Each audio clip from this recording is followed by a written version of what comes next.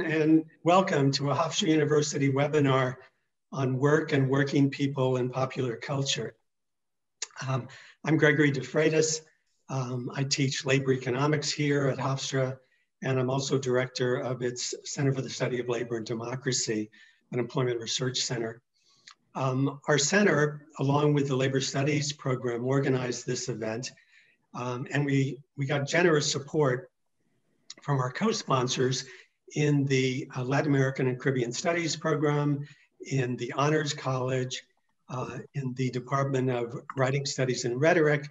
And also we really want to thank the Hofstra Cultural Center, particularly Ethelene Collins and Carol Mallison. Um, second, I want to wish all of you a, uh, a belated, uh, very happy May Day. Um, uh, May Day was, uh, was in fact Saturday, but um, every year at Hofstra, we try to celebrate May Day. Uh, historically, all the way back to ancient Rome, um, May Day was celebrated as a spring festival of renewal and transformation, mainly agrarian holiday. Uh, but then as it was uh, reimagined in the US in 1886, uh, it was made into International Workers' Day, um, a holiday committed to transforming working people's prospects.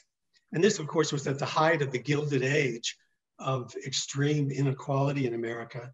Um, and after decades of fighting to reduce the 60 hour work week, hundreds of thousands of union members and their supporters uh, marched across the country um, for eight hour, an eight hour day with no cut in pay. That was the motto. Uh, today, in our own new Gilded Age of uh, glaring inequality, um, their legacy can be seen around the world in over 80 countries that celebrate May Day holidays. Not the United States, of course, we have our Labor Day, a pale imitation of those. Um, but here at Hofstra, every May, for over two decades, the uh, students, staff, and faculty have joined in a variety of events to celebrate May Day, uh, including our annual uh, Labor Studies Film Festival, May Day at the Movies, Comedy and Tragedy at Work. Among the faculty that have most reliably uh, been active in these events was Professor Russell Harrison, a longtime faculty member in writing studies and in the English and comparative lit department, um, an editor of our journal, uh, Regional Labor Review in the labor studies, um, and um, a, a co-founder, along with a number of people speaking today, like Mary Anne Trasciatti, Lisa Merrill, uh, Silvia Federici, and, and yours truly, a co-founder of the Hofstra Labor Studies degree program. So when, when Russ sadly passed away um, recently, uh, we all got together uh, to reminisce about him and we thought that it would be fitting to have a conference inspired by um, Russ's own interests and our joint interests in uh, working, working people's issues. So today, uh, we're delighted to have been joined by a, a terrific set of, uh, of people who wanted to speak, uh, not just about Russ, uh, but about more broadly the, the international issues that he was concerned about regarding working uh, people. Um, and after their presentations, um, I mean, we have until 1:20. So after their presentations, then we'll open it up to questions. So what I would ask all of you to do, uh, all of you in the audience, if you have a question, uh, that's great. Please uh, put it in the chat as briefly as possible. Please make sure it's a question. as veterans of Zoom conferences know, um, sometimes the questions take on lives of themselves and people are critiquing other people's questions and saying hi to long lost friends and all sorts of things. Please, please um, resist the temptation to do that because that's very distracting, of course. Just if you have a brief question, please put it in the chat and we'll keep track of them. And then uh, after the last speaker, uh, we'll turn it open. Uh, we all are eager to discuss these things with the audience. So my role here today is just to introduce the speakers and um, pretty much get out of the way. Our first speaker is Professor Neil Donahue, who teaches um, and was formerly the chair of Hofstra's Comparative Literature Department. Um, Professor Donahue got his PhD at Rutgers. Uh, then he started teaching there, and then he went on to teach at um, another fine working class university, Columbia, downtown. Um, in 1988, uh, we were lucky enough to lure him to Hofstra, where he um, his scholarly work has been in the field of modern German literature and culture. He's published six books, uh, as well as a book on um, a German language handbook. Uh, for some two, two, decades, Neil directed the German program at Hofstra. He also inaugurated the um, study abroad program in Munich. Um, and, and also for many years, he was um, a dean of Hofstra Honors College. Um, since July 2016, uh, Dr. Donahue has been vice provost for undergraduate academic affairs and internationalization here. After um, Dr. Donahue uh, comes uh, George Caffentzis, um, an emeritus professor of philosophy at the University of Southern Maine. Um, Dr. Caffentzis is a founding member of the Midnight Notes Collective. Uh, he also co-founded with Silvia Federici uh, the Committee for Academic Freedom in Africa. Uh, Dr. Caffentzis is uh, a leading thinker in the development of autonomous thought.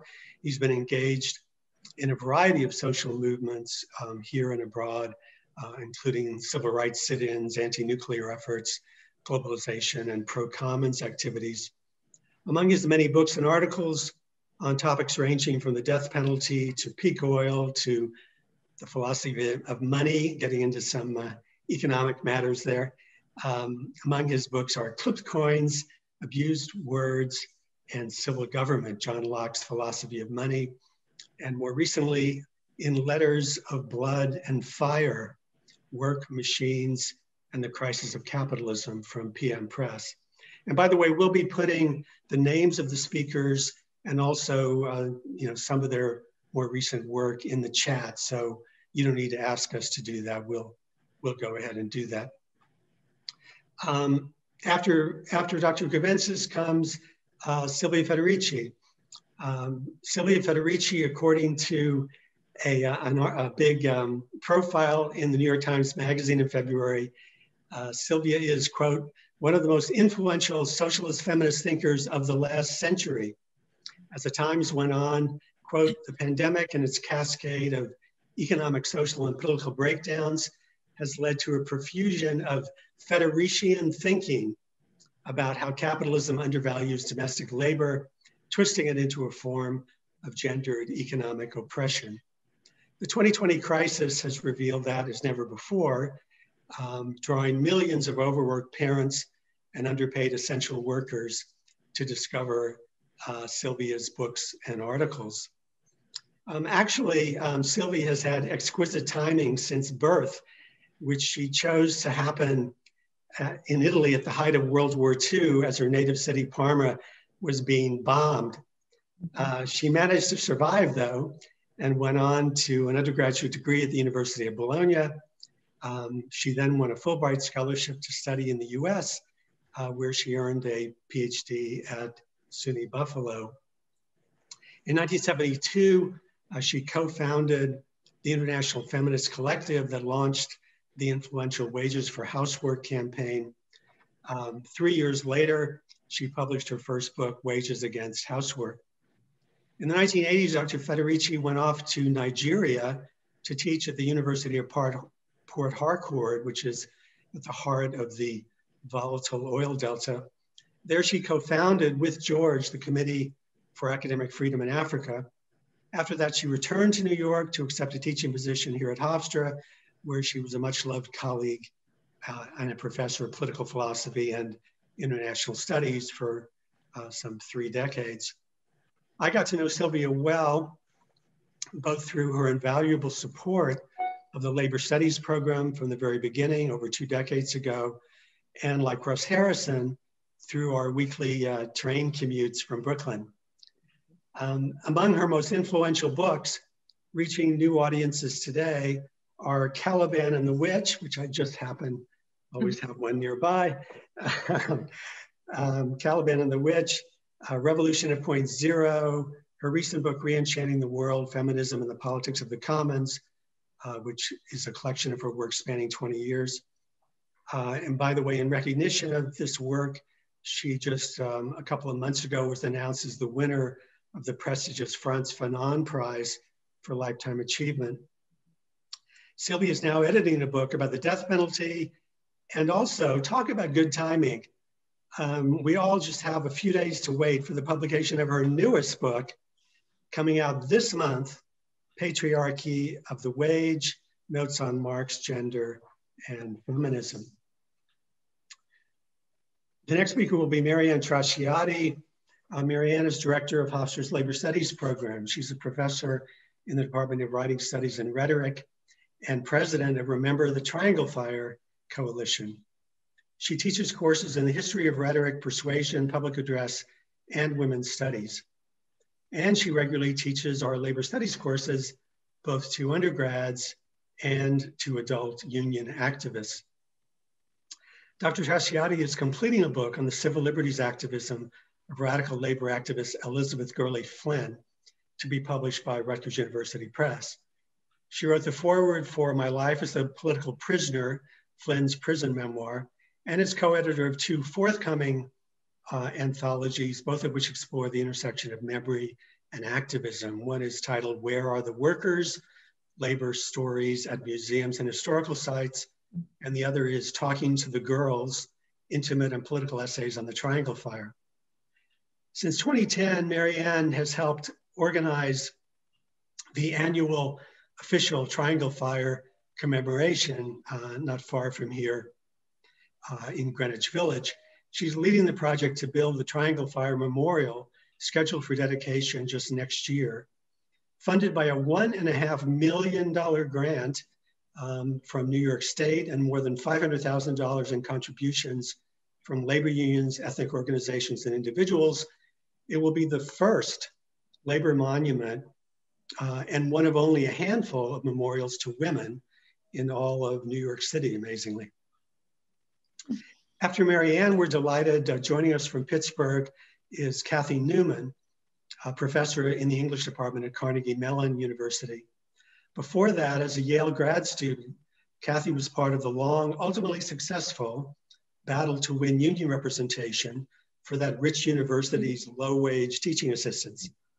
Her primary interest is in the relationship between mass culture and the masses, between TV, film, radio, the internet, and our social political formations. Her first book on these questions uh, was Radioactive, Advertising and Activism, 1935 to 47, published by uh, UC Press, University of California Press. Um, she's also a regular blogger for Working Class Perspectives, which comes out of uh, Georgetown University, uh, an essayist and an artist whose work has appeared in The Nation, Jacobin Magazine, and other journals. Dr. Newman is currently finishing a book that combines cultural analysis with labor history uh, titled Striking Images, Labor on Screen and in the Streets in the 1950s. Um, last but not least, Lisa Merrill uh, is a professor in Hofstra's Department of Writing and Studies Rhetoric, Writing Studies and Rhetoric, uh, she teaches and writes on performance studies, critical race theory, and women and LGBTQ history. She holds a PhD from NYU. Her critical biography, when, when Romeo was a woman, was awarded the Callaway Prize for Best Book on Drama or Theater. She's recently been awarded the Oscar Brockett Essay Prize from the American Society for Theater Research and the Brockett Center Prize for Theater History and Criticism at the University of Texas, Austin. Professor Merrill was the Eccles Center visiting professor in North American Studies at the British Library in London um, uh, for 2010 to 2011. At Hofstra, Lisa teaches courses in performance art, uh, nonverbal communication, performing for social change, dramatic activities in educational and therapeutic settings, and women's studies, among others. During each of the three uh, presidential debates held at Hofstra, uh, Lisa Merrill and her students have staged public historical performances and performance reenactments as a form of democracy um, in performance. So with that, I'm going to turn it over to our first speaker who's going to talk a little bit um, biographically about, um, about Russ Harrison before we open it up uh, to the other speakers as well. Please take it away, Dr. Donahue. Hey, thank you, Greg, and thank you for organizing this, and thanks to uh, Carol and Athleen and the Cultural Center also. Uh, yes, I'm going to say a few words about uh, Russ as a scholar and his scholarship. Uh, he began his career at Hofstra in 1984 and over the next several decades taught in several programs and departments. Before completing his PhD at SUNY Buffalo, he had graduated from City College with a degree in English and minors in German and classics, then got an MA in comparative literature from SUNY Binghamton, all of which might explain why he found his way back then over to the Comp Lit department to hang out with me and George Greaney, the Germanist and the classicist. It was basically what he was trained to do.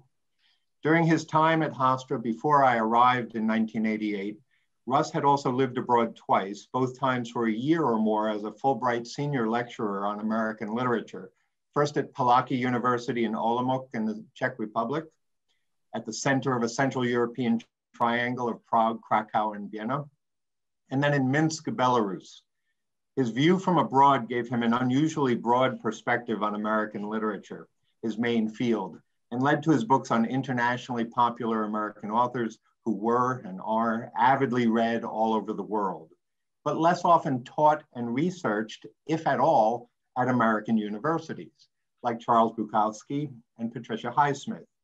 In fact, Russ wrote the very first scholarly critical studies of their work but his interests also ran toward German language literature. Thus, shortly after I started at Hofstra 32 years ago, Russ came to one of my classes and asked to sit in as I taught post-World War II German language literature, including Thomas Bernhard.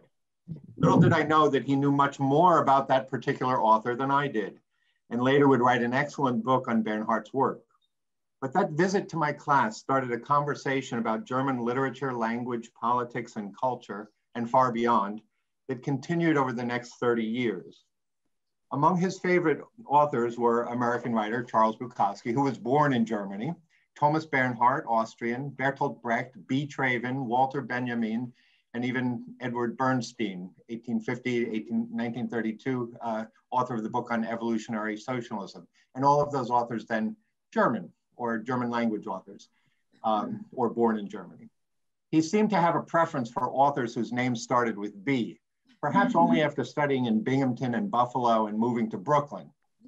Seriously, he read very widely over all the alphabet and, all, and in all directions, even in German, with an eye toward relations of labor and the conditions of consciousness and social class and their economic underpinnings, especially in the workplace. That topic of labor relations, of economic relations, of work, had animated literature in the US and Europe in the first decades of the 20th century up to World War II, but then also quickly faded to large extent in the post-war period of a rising middle class and so-called economic miracle, when the rather fantastical notion of a post-ideological, post-class society gained currency, so to speak. Russ's interests ran against the grain, one of his favorite phrases, of his own contemporaries. And the title of his book on Bukowski against the American dream reflects the contrary stance of both the author Bukowski and the scholar Harrison. Though I didn't know it at the time, our last meeting took place at a restaurant he was fond of in Brooklyn called Werkstatt, which literally means workshop or workplace, with an Austro-Czech menu and good beer, obviously. Though he was rather infirm in fall 2019, we ate and drank, talked and laughed, and he was in his element. In his daily life, his bookish braininess seemed offset at times by a certain endearing obtuseness in practical matters, which I never quite understood since he'd grown up around a hardware store. Mm-hmm. Before his academic career, he had also, in fact, worked as a taxi driver in New York City and in a mm-hmm. municipal bureaucracy. He sometimes seemed to combine a candide like sense of wonder at the world with a sophisticated theoretical acuity honed on the Frankfurt School of Critical Theory, on Theodore Adorno and Walter Benjamin, but also with the political convictions of Bernie Sanders, whose progressive politics he supported wholeheartedly, perhaps with an additional degree of conviction because his name was Bernie from Brooklyn and Burlington. For all his theoretical, political, economic, and literary sophistication, Russ cultivated a kind of bemused analytical detachment, even from his own circumstances, which makes in his autobiographical writings for wonderful and evocative reading, but also an edgy wit. Once early on in our friendship, when he first came to meet me at the German office, I shared then with several faculty at the time in Calkins Hall, he looked in and spotted on the wall a couple of pictures that had hung there for years and that I had studiously learned to ignore the German flag and a boot with kittens in it. He saw at once a connection between the kitty cat kitsch and the naive nationalism and commented, ah, unintellected emotion. It was a funny and incisive remark, and I loved his use of the word intellect as an active transitive verb, indicating an action, thought, on an object, on life, as an inflection, not a reflection. And not just in scholarship, but all the time. And for us, especially through conversation. He was not against emotion, but I think he meant that it had to be fully formed and informed through understanding, and vice versa. For us, I think the act of intellection elevated emotion, thought elevated feeling, and conversely, feeling would animate and redeem abstract conceptual thinking. This dialectical interaction reinforced and reinforces the core of human dignity and solidarity against whatever tries to diminish it at work or in politics. In other words, literary criticism, literary and social critique was in itself for us class conscious labor, artisanal craft for the sake of understanding and for the sake of others, but also as its own reward.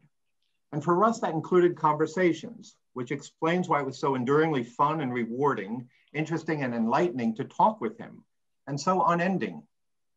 Thoughtful conversation about ideas was his mode of existence, an ongoing act of shared intellection, which now continues here in his absence, while his voice remains alive in his writing.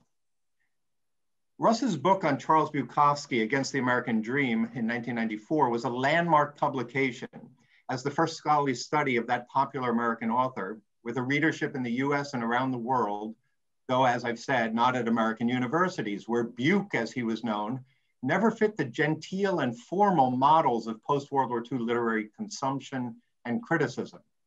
Bukowski's deadbeat anti-heroes of the dive bar and dead-end job pretty much deflate all high-minded pretensions of moral, spiritual, idealistic, or humanistic uplift and edification with their concentration on labor and wages or the refusal of both in the workaday world.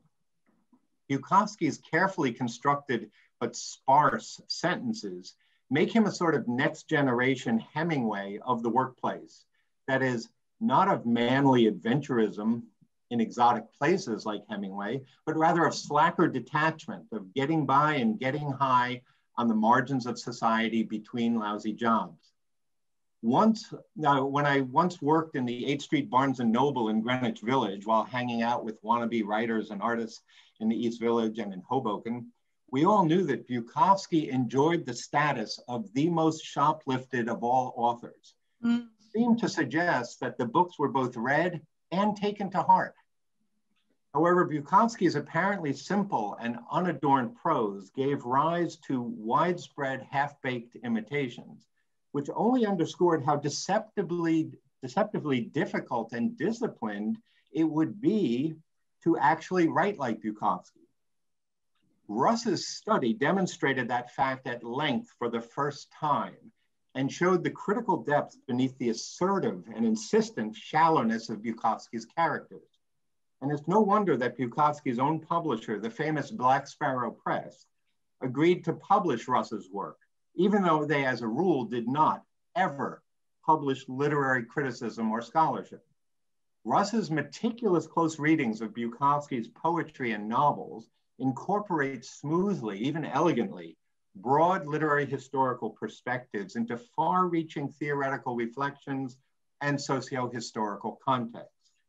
Russ might telescope into his discussion of a scene in a mailroom at the post office or in a bar after work, apt citations of Karl Marx, Antonio Gramsci, Herbert Marcuse, in order to develop an analysis of Bukowski's implicit critiques of Taylorism, Fordism, and post-World War II corporate management practices, while advancing at the same time a comparison of Henry Miller's sexism and the emerging contexts in the 1970s of the Vietnam War, civil rights protests, and gender politics in Los Angeles.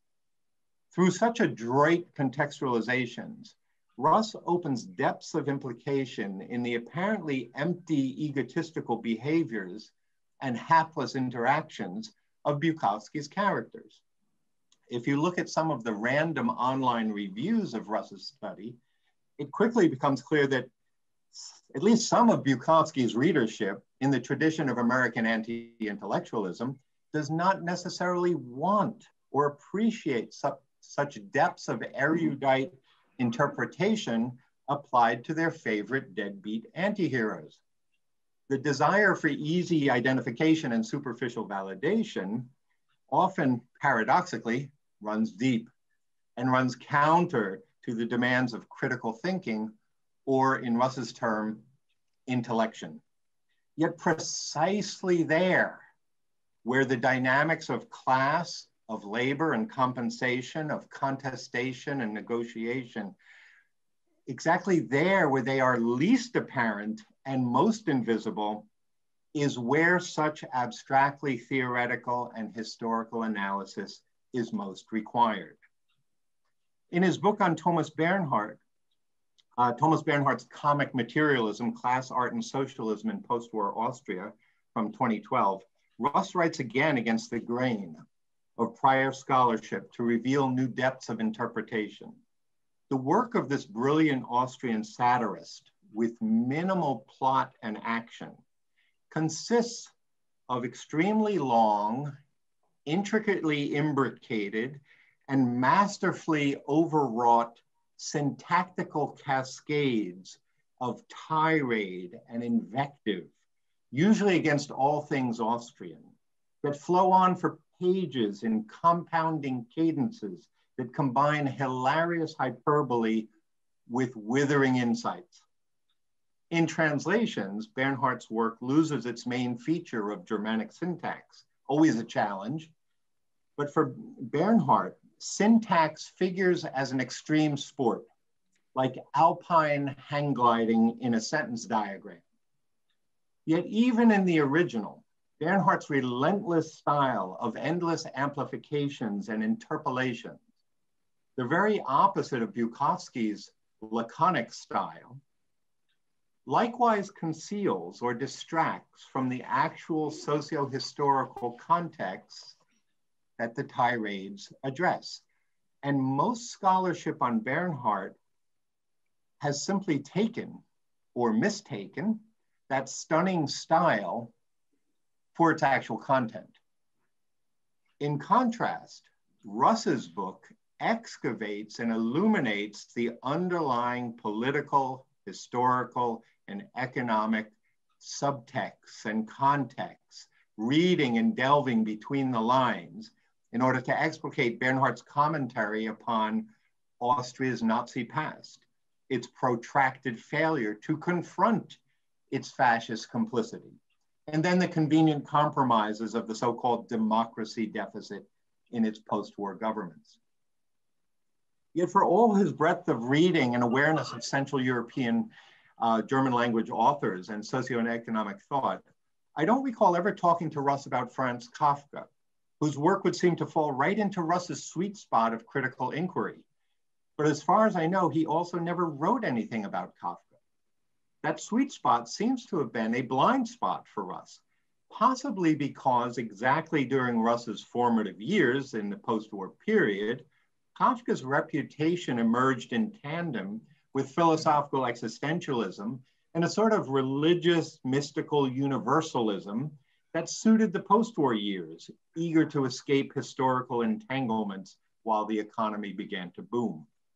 Yet for a decade, before his death in 1924, Kafka was a highly regarded labor lawyer at the Workers' Accident Compensation Insurance Company in Prague, where he wrote detailed descriptions of industrial injuries and regularly visited factories and examined the conditions of labor firsthand. His best friend and first biographer, Max Brod, included some of those accident reports in his first bi uh, biography of Kafka in 1937. But post-war scholarship fled into all other directions. Kafka's most famous work, with which you're all familiar, I'm sure, The Metamorphosis of 1915, describes Gregor Samsa, who is turned into a monstrous vermin or big bug and cannot get out of bed and thus cannot catch his train and report to work as a traveling salesman, whose boss then almost immediately shows up at, at his home to reprimand him. Though set in his room at home, the story reflects the dehumani dehumanizing effects of work and if viewed from that angle, anticipates Willy Loman and Arthur Miller's Death of a Salesman of 1949. In fact, Gregor's transformation enacts in full body fashion uh, Georg Lukács's notion of the reification of consciousness in the workplace or the, the thingification of thinking, if you will, as a condition of industrial labor, the transformation of the worker into an object, a commodity, an estranged byproduct of the mass production process. Kafka's metamorphosis constitutes, on one level, a critique of Taylorism, that is, the work of principles of scientific management by the American Friedrich Winslow Taylor that came out in 1911, just before Metamorphosis, and revolutionized the industrial workplace worldwide by inserting the individual into an equation, a calculus of productivity over time, without regard for human needs, a notion later mocked in Charlie Chaplin's film Modern Times, of 1936, where the hero suffers a nervous breakdown on the conveyor belt and gets pulled literally into the vast machinery of the plant while still maniacally trying to turn the bolts and get and perform his one assigned task on the conveyor belt. Yet Kafka's critique of Taylorism was not recognized as such at the time, and hardly since. A gap has persisted for many decades between interpretations of Kafka's writing and his actual life and job. In the early 1980s, long before the collapse of the Berlin Wall and Iron Curtain, while studying in Germany, I got to visit Prague, where I located the sites of Kafka's life, including his office, where I met the man who worked there then, who gave me a tour but couldn't otherwise provide much insight. Yet that visit to Prague grounded my understanding of Kafka's work in his work, that is, at the office, at the factory, and the historical moment. In the early 2000s, Kafka's office writings as a labor lawyer from his job were at last published in German and then in English, finally bringing this aspect of his world more fully into view. Kafka's work deserves a reading along the lines of Russ Harrison's studies of Bukowski and Bernhard, surfacing the socioeconomic and historical context. Somehow Kafka seemed to to have escaped Russ's full attention Maybe the name didn't begin with B, so it was not to be, I guess. Yet he was aware of that affinity. In his brilliant book on Patricia Highsmith, also a first critical study of a major American author's work uh, in 1997, he makes a brief comparison of her work to Kafka, a couple sentences, and illuminates thereby his own method of exploring critically neglected or misunderstood popular authors.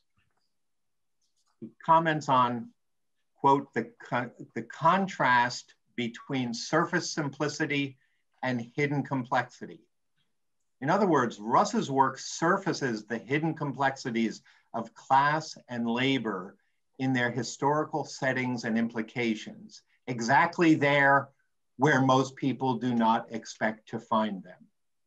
In the fall, I'll be teaching an honors college seminar on Kafka in world literature. It will bring this perspective into focus on Kafka and his influence. For what it's worth, although it's not an official designation, that seminar, inspired by Russ's work, I will dedicate to Russ, Russ Harrison. Thank you. Nice Thank you very much. Now George Caffentzis will speak. George. Okay, well, thank you, Greg, for being part of this conspiracy to bring the presence of Russ into his former place of employment. If we can speak of having a place in this period in history to present your thoughts. Now, I'm going to be reading some comments I made concerning Russ from point of view of biography. Because Russ was my oldest friend. We met at City College in 1965, attending classes on the classic languages, Latin and Greek. From that time on, we never lost touch with each other. What brought us together were shared intellectual, political interests, and antagonisms. And also the fact that we both felt like outsiders. I coming from a Greek immigrant family, and Russ from a Jewish family. Our relationship intensified in 1974 after an, when, after an absence of several years.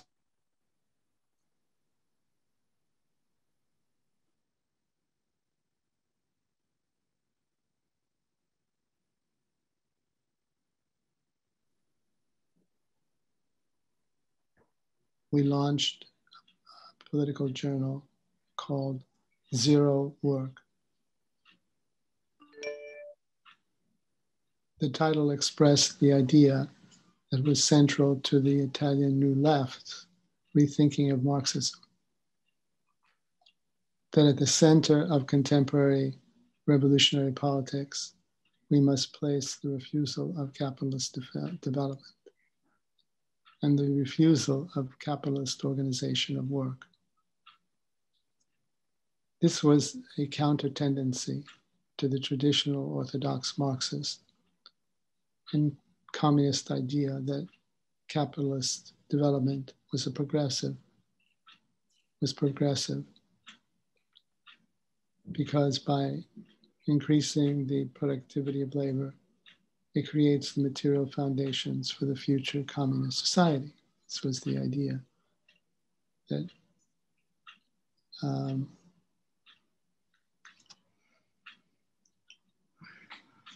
the Italian New Left rejected this view that had shaped the politics of the Communist Party in Italy and other communist parties around the world. It insisted on working class autonomy that is the idea that the working class has no interest in the development of capitalism, nor in the parties of the left that had made historical compromise with capitalism. Russ was extremely interested in this perspective, in this refusal. And we had a lot of discussions on its implication that, in a way, have continued until his death. He was especially interested in the operaista concept of refusal of work, which resonated with his own critique of capitalist society.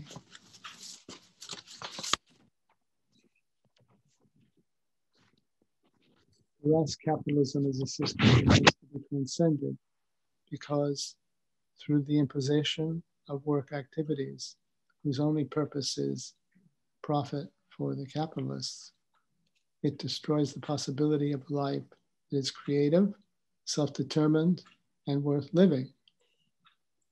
There were undoubtedly biographical reasons for this very strong feeling Russ had, present in all of his writings, that work and capitalism is the antithesis of life. At the beginning of his unpublished novel, The Shop, dedicated to the life of his father as a shopkeeper, he quotes him saying that, quote, the only difference between this job and a prison is that they let you out at six o'clock in the afternoon. In the novel, Russ tells us that his father passed his time in the shop reading books and was almost annoyed when customers came in making money despite himself. And just a little footnote in that statement, the only difference between this job and the prison is that they they let you out at six. Russ complains that he never asked his father who the they were.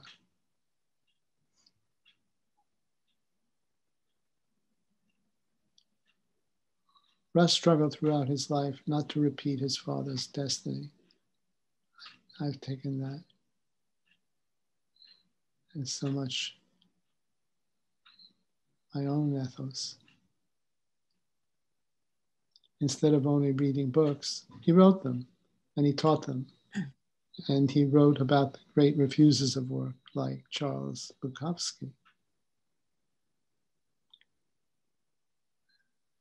In Against the American Dream, Russ's main analytic work is is centered on the idea that through mechanization and de-skilling, work in America has become a totally meaningless activity. Chinaski, the protagonist of Bukowski's main novels, working at the post office in Factotum, is the embodiment of the alienated worker who is constantly striving to avoid giving his time to jobs that destroy people's lives and human relations. Russ did his best to contribute to the making of a world where what we do is motivated by desire rather than by the need for survival. I think that at Hofstra, he came closest to realize his desire for a work that has some meaning and is a rewarding activity. He prepared with passion his classes on Brecht and often spoke about them. His death is a great loss to all of us.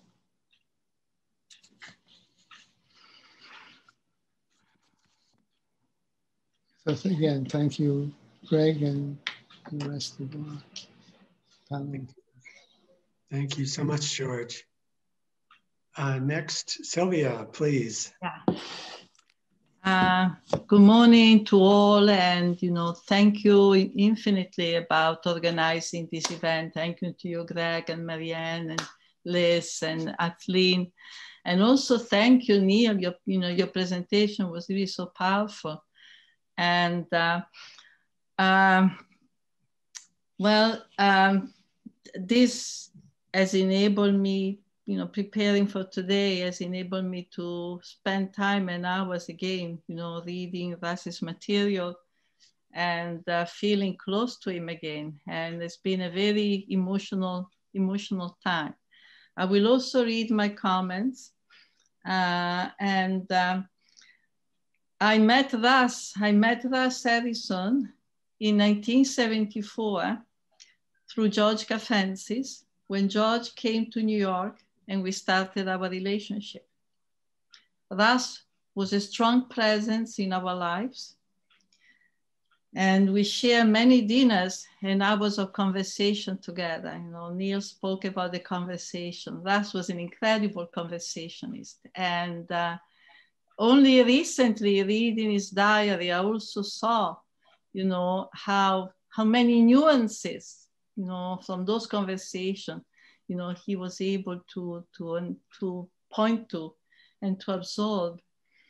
Um, together with him and George and David Friedkin, who now also teaches at Hofstra, we did a video in uh, 74, 75 on the question of work, which now unfortunately is lost. For one month, then in, in 1982, we spent uh, traveling in Yugoslavia, you know, before the country was completely destroyed.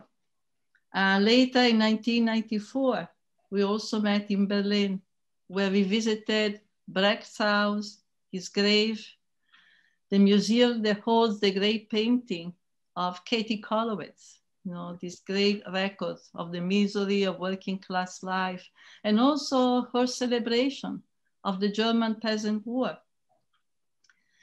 And uh, we also saw an exhibit on World War One, the life of workers in the trenches, and uh, this major, major attack really on working class revolution, the work, you know, World War One was. When I met Russ in 1974, I was involved in an international feminist campaign for wages for housework, whose purpose was to show that housework is work, not a personal service, not a natural activity, as it has often been misrepresented. Being defined as women's labor, we stress that what we call domestic work is actually the work of producing daily and generationally the workforce, uh, producing our capacity to work. The fact that being able to work is not something natural, but it's something that actually has to be very laboriously reproduced on a day-to-day basis. Um, and that this is a work from which all employers have immensely benefited because it has saved them billions of dollars from the need to build the infrastructures enabling so many people, millions of people to show up every day at their respective workplaces. One of the tasks of our campaign was to make visible this work, to make it visible as work, you know, to reject the idea also the work takes place only in the factory or in the offices. The idea that also to have some economic autonomy, women have to go out, take a job, and um, you know join the working class, as uh, some socialist feminists said we should do. Not that uh, we were against uh, women working outside the home. On the contrary, only it was important for us to recognize that uh, we are also already working at home. And then this work at home is really the pillar for every other activity, is the support basis for every other activity. And also I think that, um, you know, the, what has happened over the last three or four decades has demonstrated, you know, that our position was correct. That uh, unless, uh, you know, women deal with the question of reproduction, housework, the evaluation of this work, it becomes very impossible when we go outside the home and work outside the home to have any power, to have any social power, to negotiate, you know, any favorable work condition. And it's not accidental. Therefore, why, for instance, when women work outside the home, most of the time precarious work, work that extension of housework, and so poorly paid, that now a majority of women in the United States, working class women, are in fact fully indebted. They go from month to month, really on the basis of payday loans, because the jobs that they acquire are not capable of actually enabling them to take care of themselves, to take care of their family.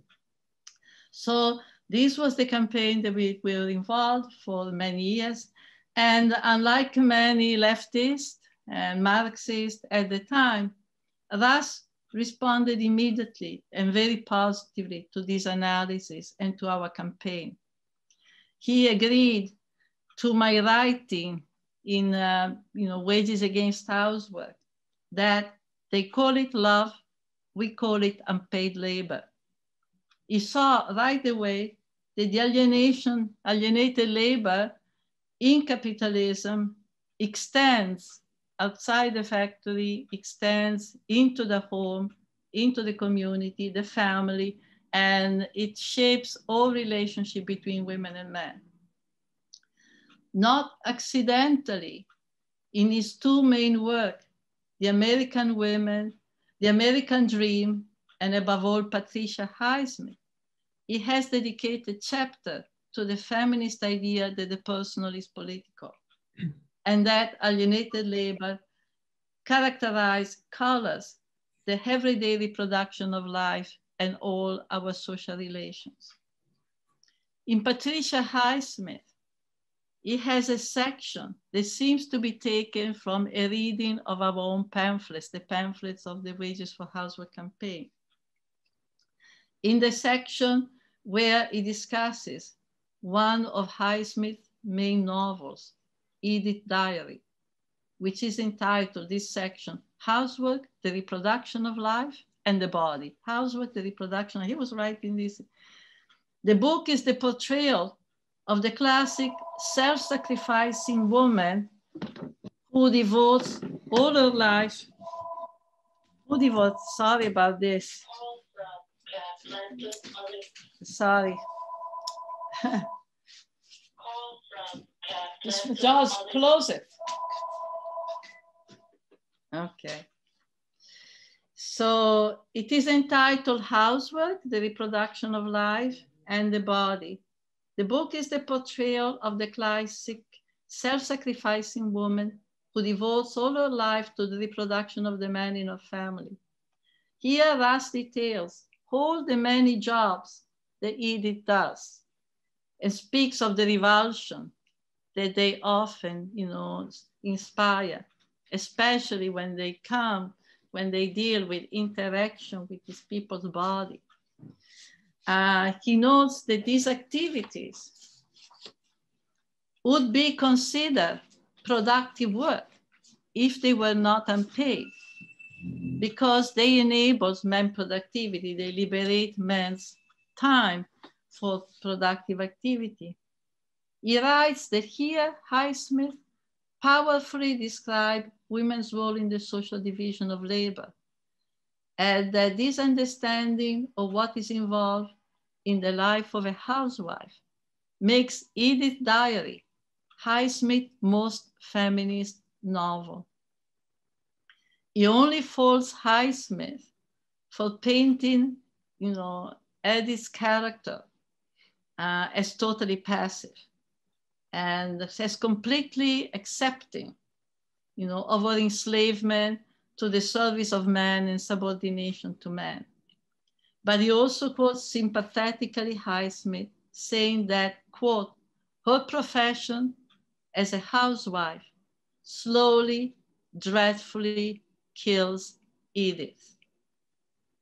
In other words, Russ understood that in capitalism, the subordination of all our activities to the process of capitalist accumulation affects every sphere, every aspect of our life, turning also family relations, sexuality, love relation between men and women into work relation, into relations of production.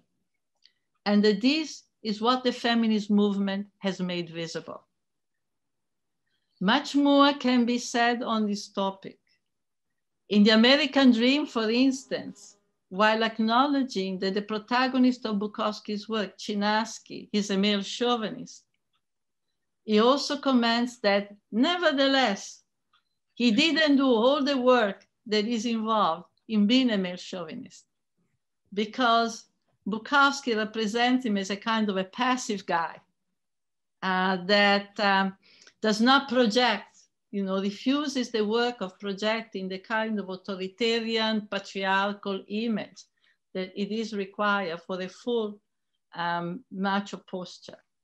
Um, should also talk also about Russ fascination, you know, like also gods and many others, with the Grundrisse. You know, this uh, mm, work of Marx often characterized Marx's most utopian work, you know, in which Marx described a world in which science and technology have been fully applied to the organization of work and the moment comes in which all work is done, all necessary labor, all the labor that is required for the necessities of life has been transformed into a machine. It's been done by the machine. And then our time is liberated. You know, our time is liberated for higher activity. And I think his fascination, you know, with the work of many Italian Marxists like Toni Negri and, uh, and other autonomous Marxists, you know, came from that because he saw that uh, they really looked for a world in which uh, basically life, you know, would be uh, much of our time will be liberated, you know, for different kind of activities. Um, now, I will conclude my remarks, however, returning to a theme uh, that is run through George's presentation, that thus worked very strenuously to rescue his life from alienation and lack of meaning.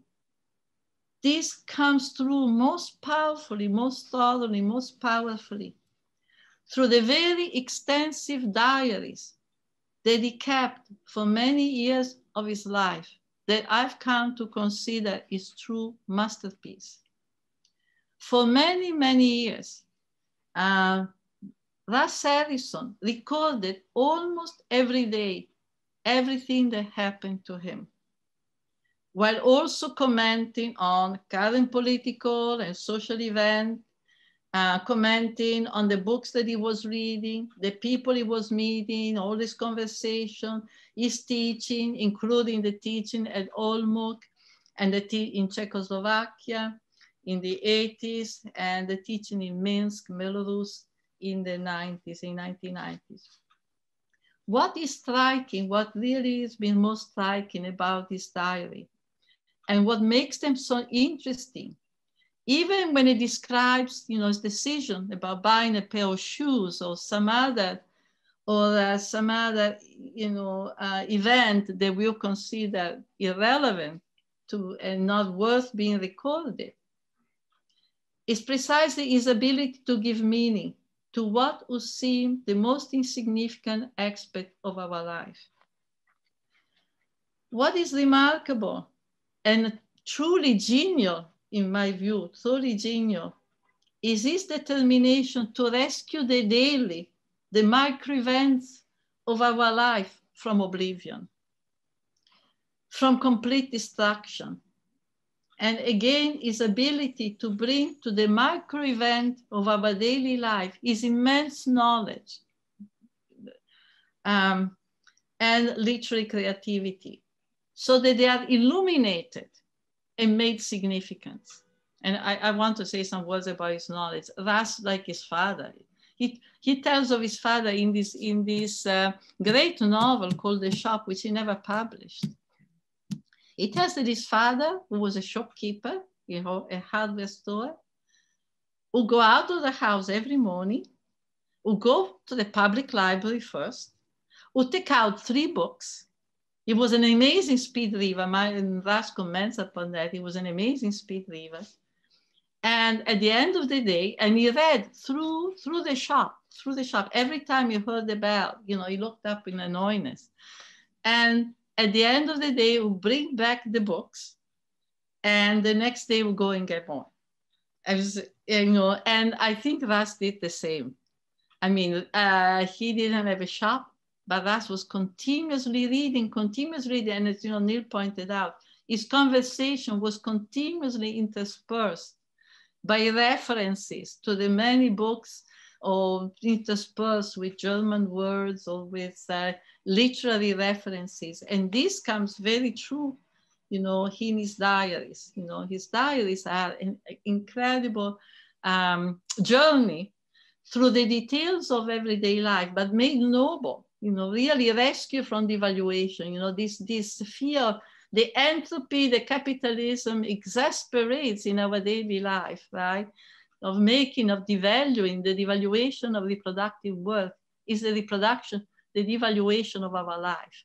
And this, this struggle, this very heroic struggle that thus made you know, to make life have some meaning despite of all, have some meaning despite of everything, really comes through also not only in his book, but comes through very painfully also in, in his work.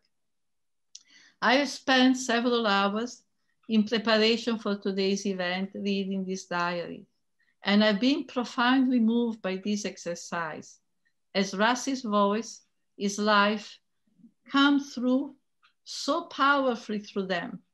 It made me wish again and again that he were alive and we could, I could express to him what we may not have been able to do fully before, how much we value his life and his friendship and how much we miss him now. Thank you. Thank you very much. Uh, Mary Anne Trasciatti. Thanks, Greg. Um, thanks, uh, Silvia and George and Neil um, for your comments and for being here. It's so wonderful to see everyone. I wish it, it were not for a commemoration of, of uh, someone's um, life and passing, but um, it is uh, a May Day celebration in part. So I would like to begin by saying happy May Day, belated, but nonetheless heartfelt. Arise, you prisoners of starvation, first line from the Internationale. Um, and I'm so grateful to share this uh, commemorative space to honor Russ and his work, and also to honor working class literature or literature with working class themes. Um, and because this is a commemorative space um, dedicated to working class uh, literature, um, and literature about work, I wanted to talk about uh, a particular work of literature and uh, specifically um, that has a, a, working class story to tell, as well as uh, the importance that this kind of literature does, um, the important memory work that this kind of literature does. Um, so I'd like to um, to just say a little bit about the, the work of literature that that uh, some of you may have read. It's it's a it's a new work recently published, um, and it's the story of, of two brothers um, Ryan and Gregory Dolan. They're Irish Americans. They're migrant workers, uh, what would have been called at the time the early 20th century bums. Um, and they are fictional characters from Jess Walters' The Cold Millions. Um, it's uh, a book that, that uh, I started out thinking was okay and I ended up really loving. And I'd, I'd just like to share with you some thoughts about that. The brothers were active in the 1909 free speech fight. Uh, both of them were imprisoned, and the experience shaped their lives in profound but very different ways. Uh, the free speech fight was led by the IWW, also known as the Wobblies, the One Big Union. This was a radical union that aimed to organize all workers in all industries, founded in Chicago um, in 1905. Uh, so it is an American union with a decidedly radical bent. They aimed to eradicate the wage system um, as, as, uh, as it was known then. Um, and uh, they still are around and still inspiring. Um, but in this particular uh, in this particular instance, the IWW had organized a free speech fight to protest a law against outdoor speaking with a pro-labor message. And this was a key moment in the history of civil liberties in the United States, and it is recognized as such by scholars. This is a moment when working class people um, not lawyers, not the ACLU. The ACLU did not exist at the time. When working class people took a stand literally on top of a soapbox in defense of the First Amendment. And they would stand on the soapbox on street corners around the city of Spokane and begin with the salutation, fellow workers and friends. And then they would be promptly beaten down. The soapbox would be smashed. They'd be rounded up and thrown in jail. Um, but they continued to do it and they, they won. They actually got the city of Spokane to repeal uh, the law. And their success, their, their efforts inspired uh, similar free speech fights in other municipalities in the early 20th century in places like San Diego, which did not end as well as uh, Spokane. Um, Emma Goldman uh, was involved in that free speech fight as well. Um, the, I mean, these things really uh, inspired people. Anchorage, Alaska, and even on the East Coast in the uh, industrial city of Paterson, New Jersey. And the free speech fights captured the attention of people around the US and around the world. Um, and, and I'm talking about ordinary people, right? Working class people. And it inspired a conversation about the Constitution, the First Amendment, and the meaning of free speech that continues to this day. Um, but sadly, most people don't know about it. But the Cold Millions brings it to life. And like many works of historical fiction, this one includes real characters as made as, as well as made up ones. So um, let's meet one. Chapter 11.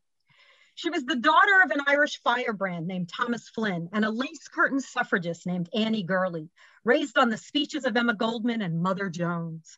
At 10, Elizabeth Gurley Flynn was railing against inequity at Harlem social clubs and calling for the women's vote at her grammar school. She drew hundreds when she spoke on the street, and by the time of her first arrest at 15, was locally famous. Dubbed by progressive newspapers the East Side Joan of Arc, an Irish beauty with blue eyes, filmy black hair, and a fiery manner of speaking.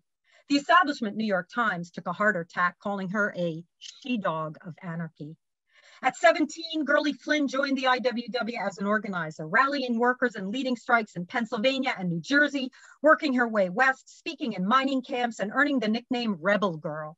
She married a Montana labor man named Jones and having just run a successful protest in Missoula, Montana, was sent to Spokane to help organize its free speech battle. At 19, already a grizzled veteran of dozens of union actions. Elizabeth Gurley Flynn was 19 years old at the time of the Spokane free speech fight. She was pregnant, visibly so. This really bothered a lot of her male comrades, but she led the fight. In fact, there's a story, alas, it's, it's uh, an urban legend, where she chained herself to a lamppost on the streets of Spokane and, and dared the police to arrest her. Um, it didn't happen, but it's a really great story. And it could have happened. She was that kind of person.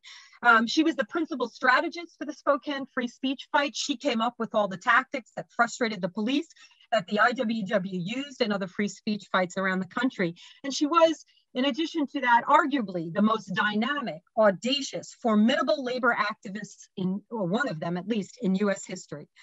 Alas, most people have no idea who Flynn was or the incredible work she did in Spokane and throughout a lifetime of activism that extended.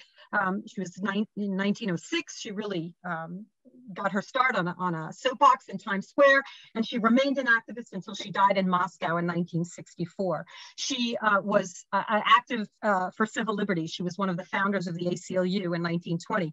She was an active anti-fascist. In fact, she was one of the first English language members of Antifa in US history when most people looked at fascism as an Italian thing. Oh, that guy Mussolini, he'll get those unruly Italians in order. She recognized that fascism was a threat to democracy worldwide. She was also an active anti-racist. Uh, she spoke out against lynching, against police brutality, against efforts to deny Black uh, workers and working class people and Black people in general uh, access to the to the vote. Uh, she was an anti-imperialist. She inherited that from her Irish and Irish American forebears, and she linked the struggle against imperialism in Ireland with struggles against imperialism around the globe in India, in Mexico, and, uh, in Africa. And she saw that the struggle against capitalism and the struggle against imperialism were inextricably linked. And she was a feminist. In fact, Gurley Flynn was intersectional before the word existed. In 1948, in an article she wrote for Political Affairs, a magazine of the Communist Party. She became a communist in 1936, ultimately arose, rose to become the first uh, female uh, chair of the Communist Party of the United States. She wrote about the triple bind facing Black, working class women in the US. So this is before the Combahee River Collective. This is before Kimberlé Crenshaw. She didn't use the word, but she understood the concept of intersectionality. And despite all of this, hers is a fate shared by most labor activists. We just don't know anything about her. And the truth is in the US, we do a terrible job of teaching labor and working class history. It is not required in a majority of state public school curricula.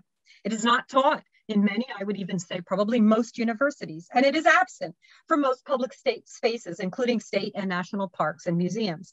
So as a consequence, most people don't know about the exploitation and violence visited against working people by capitalists and their allies in government and law enforcement. Most people don't know about the courageous working people of all kinds who stood up to that violence and exploitation to build unions, to improve the material conditions of working people's lives, to fight for the things that make life worth living, like leisure time, the weekend, democracy on and off the job, and May Day. What most people don't know, Greg alluded to this at the beginning of his talk, is that the international celebration of the working class was inspired by the fight for the eight hour day, and in particular by an incident on May 4th uh, 1886 uh, in Chicago at the Haymarket when a bomb explosion at a rally that was protesting police brutality against uh, labor activists who were fighting for the eight hour day uh, went off um, and killed a number of people and was ultimately pinned on a group of anarchists, many of them German immigrants, uh, four of whom, Parsons, Spies, Fischer, and Engel, were hanged on November 11, 1887. That incident is why May Day became a globally significant holiday of working class activism, but we don't know that for the most part in the US. We also don't know about the relationship admittedly sometimes fraught, between the labor movement and other social movements, including the feminist movement, the civil rights movement, the immigrant rights movement, and the environmental movement. So given the terrible job that we do in teaching working class history in institutional settings and in public places in the United States, books like The Cold Millions and the books that Russ uh, devoted his, his intellectual life and his personal life to, to reading, to discussing, uh, to critiquing are essential. Um, historical fiction in particular, I would argue, with working class themes does very important work, memory work. It introduces readers to people and events they may not otherwise encounter, especially in the US. People and events that powerful interests here and around the globe would rather see forgotten.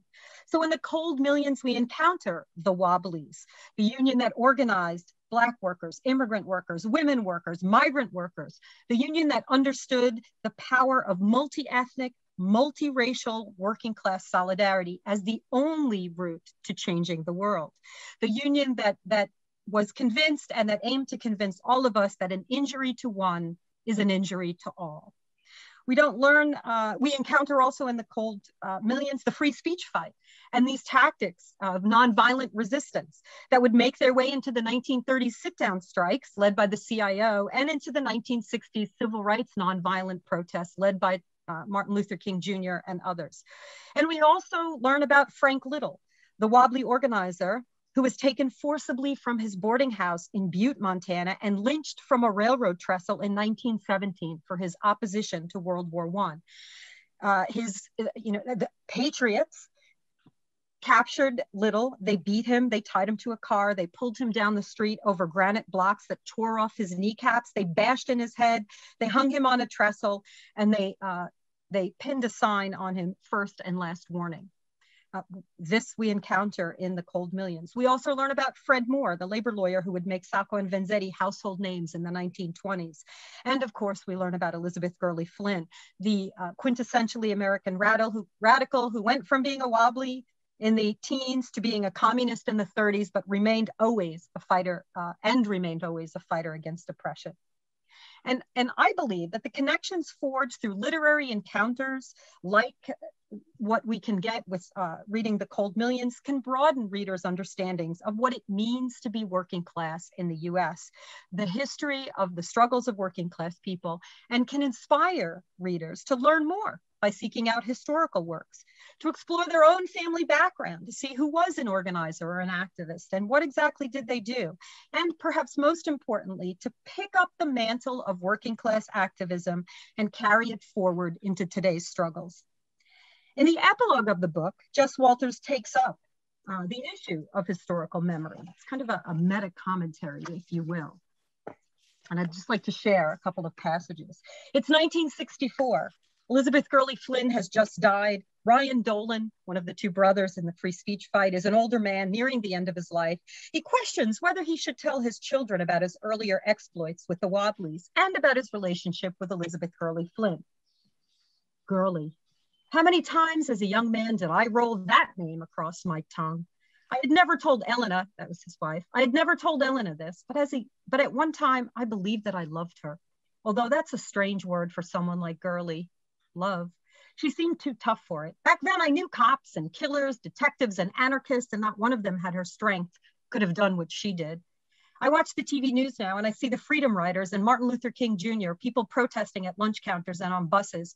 She would be right beside them, alone and pregnant, 19, and not a doubt in her mind that goodness would eventually prevail. I wish I could be so sure.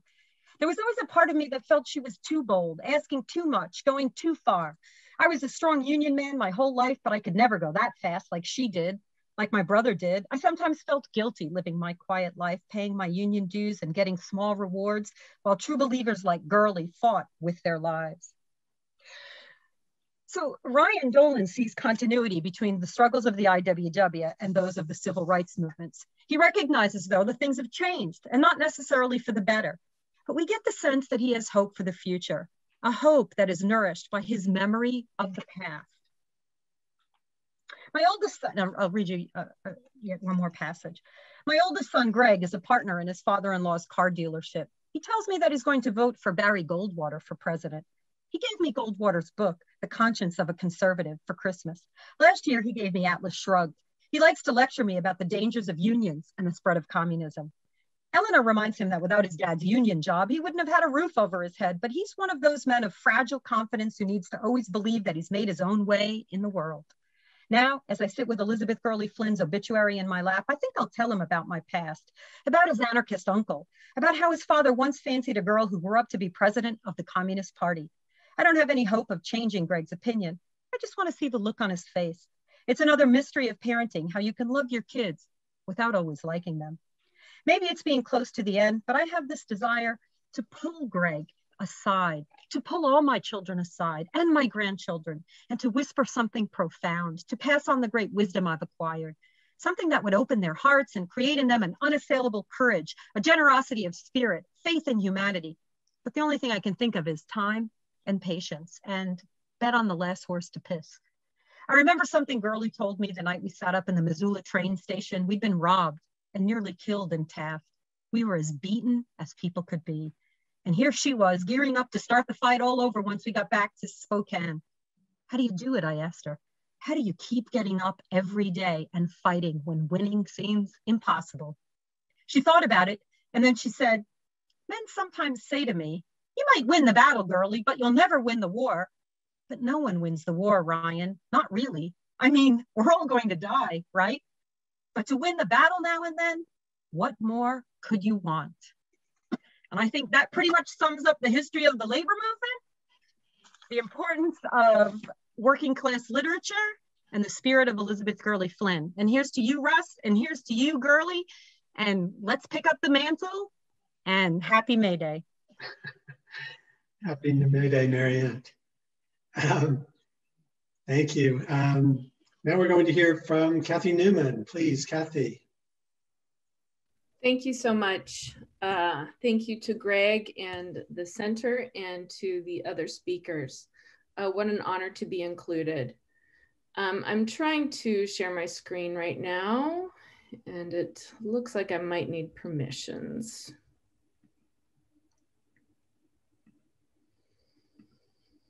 All right, here we go. So, uh, I'm talking today about using the labor theory of culture to write film history. And one of the ways that I see myself as uh, related to the work of Russell Harrison is he was very interested in this relationship between work and culture. I'm just showing a screenshot here of a review that he wrote of Jefferson Cowie's book, Staying Alive, the 1970s and the Last Days of the Working Class. Uh, so I see myself in this tradition. I'm writing a book right now that has some similarities to Cowie's work. Uh, this book is called Backstory. Um, are you able to see this slide that says backstory? Just checking. Okay. Uh, yes. So this is the current title of my book. It did used to be called Striking Images. Um, and it is an examination of film, television, and social class in the 1950s. And I'm really looking at this intersection between labor and culture. Um, I'll be talking today about the labor theory of culture that's the underpinning of this project. And I'm getting this from a couple places. One is this 1982 book by Charles Woolfson, and the other is this book by Michael Denning called Culture in the Age of Three Worlds. And specifically, chapter five is where he talks about the labor theory of culture. The way I got here is in my first book, Radioactive, I worked to deconstruct the binary between consumption and production. I argue that culture is designed to promote action, even if that action is simply the action of buying something, and hence the title Radioactive. I also argue that radio advertising occasionally misfired and promoted its opposite, the boycott. Did radio help to inspire the consumer movement? Possibly. At the very least, the two are dialectically connected. The next step in my thinking about this labor uh, theory of culture was uh, an exhibit and a year of events that I co-curated. Uh, I think I saw my co-curator in the audience, Susanne Slavick. Uh, we curated this to recognize the 200th birthday of Karl Marx. And during this year of events, I learned a couple of things. One is that I learned that the global financial collapse of 2008 led a lot of artists to return to Marx's image and Marx's idea, ideas in their work. I also learned, uh, spent some time that year re rereading Marx's Capital, and I learned that where Marx sees a consumer object, where or where where we see a consumer object, the commodity, Marx sees labor congealed. So that was sort of a, this uh, event, uh, this action of, of curating a year and a half of events around Marx and art uh, using Marx helped me to get to that realization. Um, so just a definition, the labor theory of culture looks to human work as the constituent organizing principle of popular culture. It stipulates that the creation, circulation, and vending of cultural commodities would be impossible without vast amounts of human work. And here I've just grabbed uh, an image of a film in the 1940s being made. And just as, as, a way to get us to think about what is the work what is the behind the scenes work that we often don't fully consider? And to many of you in the audience this may seem like common sense. Of course culture is produced by labor. And so i just want to talk a little bit about what this theory is in contrast to uh, that is the commodity theory of culture so the commodity theory of culture, which really underpins a lot of cultural studies, is that um, we think about how culture is consumed, who consumes it, the conditions of consumption, the cost of the cultural commodity, the process of circulation, how the consumer perceives its meaning, and ultimately the question is, what are the political meanings of that cultural commodity? In the labor theory of culture, uh, we look at how culture is made, who makes it, the conditions of production, the process of production and distribution, how the producers conceive its meaning, and what are the political implications then of that cultural production. So this is what I'm attempting to do in this book uh, I'm calling Backstory. This book uncovers the inspiration that brought eight film and television programs to light. It details the collaboration between writers, producers, directors, studios, and networks. It recreates key moments in the film's writing, rewriting, casting, location, scouting, production, distribution, and reception. Analyzes the backstory of those productions for information about class discourse, class identity, and class conflict. And it links the text creation and reception of the film and television programs to real life workers and working class movements. And I'll just um, uh, briefly mention that Backstory argues against a view that the 1950s, uh, uh, a, a, view that I think is commonly uh, disseminated, that sees uh, the 1950s as being about middle class life, middle class suburbanization, and the Cold War. Uh, so that's sort of what I'm arguing against. And I'll just very quickly, just so you can see some of these films you've heard of, some of them you haven't.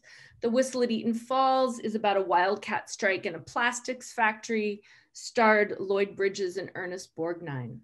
Clash by Night starred Marilyn Monroe. Uh, there you can see uh, featured in the middle of the screen as a sardine cannery worker.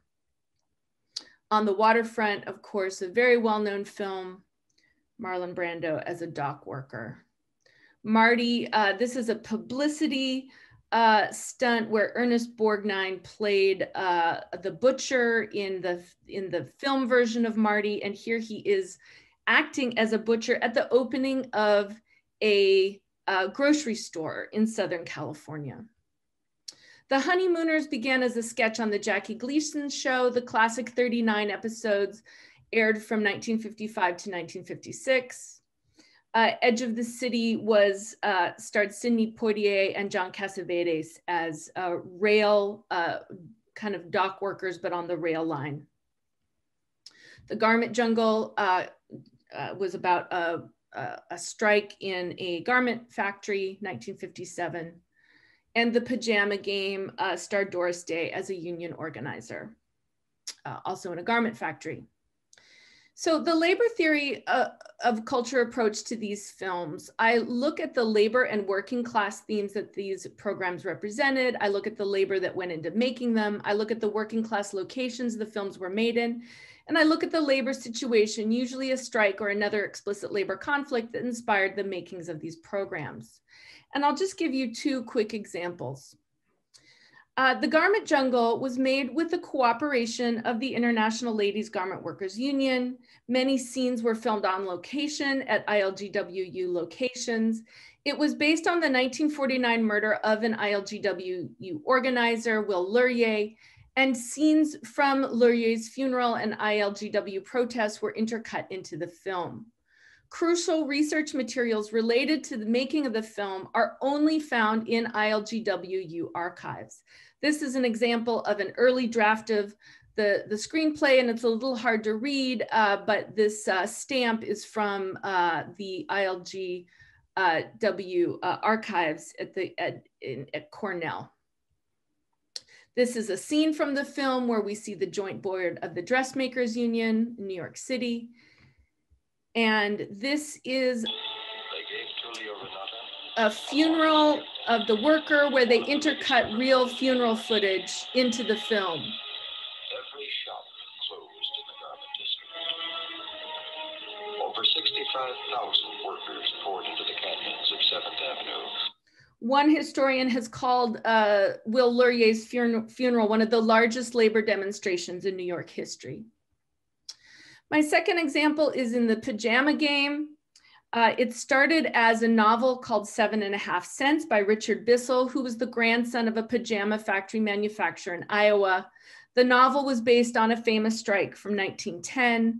The novel was made into a Broadway musical starring John Raitt and Shirley MacLaine and played for more than a thousand performances and was made into a Warner Brothers film in 1957 with Doris Day in the lead role uh, in contract negotiations between uh, Actors Equity and Chorus Equity in 1954. The uh, performers, the, the actors at the negotiations sang songs from the pajama game uh, in an all night meeting in which they demanded uh, better wages.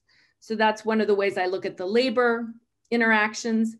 And here um, is the scene um, hurry up, uh, save time, in which I'm trying to answer Michael Denning's question, how do the rhythms of work become the rhythms of art? Hurry up, hurry up, hurry up, hurry up, waste time, hurry up, waste time, when you're racing with the clock, when you're racing with the clock. And the second hand doesn't understand that you're breaking your fingers, aching your constitution isn't made of rock. It's a hurry race. So here we see the, the rhythms of labor being literally turned into the rhythms of art in this musical. So uh, just to conclude, um, uh, that's just a little sneak preview, a trailer of sorts. Um, and I wanted to shout out to the, uh, the left-wing artist, uh, Tabitha Arnold, uh, who, who, I used here in a poster uh, the, to talk about labor and work. Um, and uh, to advertise today's event. So thank you all again. Thank you so much, Kathy. And our final speaker is Lisa Merrill. Please take it away, Lisa. Thank you so much. Um, thanks to all of you, colleagues and new friends. Um, And it's wonderful to be honoring both Russ and the importance of workers. Um, I'm a proud daughter of working class parents. For this post May Day celebration, I honor those voices my transit worker father, my itinerant working mother, and toward the end of their lives, the amazing healthcare workers whose caring soothed the hardest of times. And the colleagues with whom I work when I'm not at Hofstra in the UK at the Institute for Black Atlantic Research. Um, my current work is really on representations of race. And um, here at Hofstra, I honor the words and stories of workers in performance classes I teach in our rhetoric and public advocacy program, um, where students bring these stories to life, embodying um, some of the wonderful things that you, you've heard today. Um, and actually this semester, the performing history class in the fall will celebrate historic healthcare workers of color like Jamaican nurse Mary Seacole um, in the 19th century before Florence Nightingale, um, and Puerto Rican labor activist Luisa Capetillo um, and, and her activist work. But today, in the brief time that I have with you, I want to share some of the words and stories written by and about four workers of color, because the intersection of race, class, gender, and sexuality are key to all the work that I do. And so um, I wanted to highlight four, four genres. Let me just get my, um, my slides up. You can all see this? Yeah? Yeah, okay. Um, so the four um, writers, workers of color that, um, that I'm honoring are Caribbean uh, American novelist Paule Marshall, um, gay Black poet Essex Hemphill, contemporary slam poet, I do a lot of slam poetry in my classes, um, Melissa Banales, and current playwright and two-time Pulitzer Prize winner Lynn Nottage. So I'm gonna just um, briefly introduce you to their work and um, the importance of giving voice in, in their writing. So the first is from um, Paule Marshall, who um, whose Brooklyn background um, is from the very same neighborhood that I grew up in Brooklyn. And, and this excerpt that I'm going to share with you is from her memoir, which is a form that um, performance just calls out for performance. Anyway, performance by others, not by me, but I'm going to share this with you. I grew up among poets now, they didn't look like poets, whatever that breed is supposed to look like. Nothing about them suggested that poetry was their calling. They were just a group of ordinary housewives and mothers, my mother included, who dressed in a way shapeless house dresses, dowdy felt hats, long, dark, solemn coats that made it impossible for me to imagine they'd ever been young. No, they didn't do what poets were supposed to do, spend their days in an attic room writing verses. They never put pen to paper except to write occasionally to their relatives in Barbados. But several mornings a week, these unknown bards would put an apron and a pair of old house shoes in a shopping bag and take the train or the streetcar from our section of Brooklyn out to Flatbush, there, those who didn't have steady jobs would wait on certain designated corners for the white housewives in the neighborhood to come along and bargain with them over pay for a day's work cleaning their houses. This was ritual even in winter. Later, armed with the few dollars they'd earned, which in their vocabulary became a few raw mouth pennies, they made their way back to our neighborhood where they would sometimes stop off to have a cup of tea before going home to cook dinner for their husbands and children. They were always discussing the state of the economy. This was the mid and late 1930s, and the aftershock of the Depression with its soup lines and suicides was still being felt. Some people, they declared, just didn't know how to deal with adversity. They didn't know you had to tie up your belly, hold in the pain, that is, when things got rough and just go on with life. There was no way for me to understand it at the time, but the talk that filled the kitchen those afternoons was highly functional. It served as therapy, the cheapest kind available to my mother and her friends. not only did it help them recover from the long wait on the corner that morning and the bargaining over their labor, it restored them to a sense of themselves and it reaffirmed their self-worth. Through language, they were able to overcome the humiliations of their workday. But more than therapy, that freewheeling, wide ranging, exuberant talk functioned as an outlet for the tremendous creative energy they possessed. They were women in whom the need for self expression was strong.